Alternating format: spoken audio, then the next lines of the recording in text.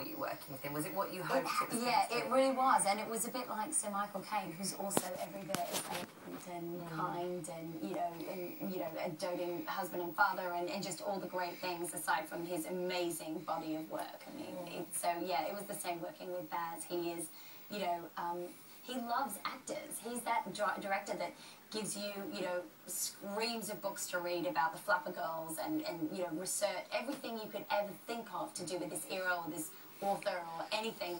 He has thought of first.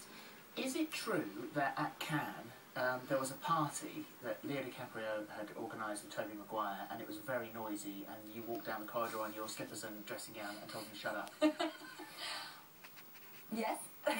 In my defence, we didn't actually, it was my husband and I, we did put on our robes, but we did it more for a joke. We didn't actually involve him. Is that, oh no, I'm so sorry. I'm so sorry. Oh no. That's alright, I'm so sorry, she's Australian. I'm Australian. We didn't tell anyone off. Oh no. I didn't finish it. I didn't quite finish it.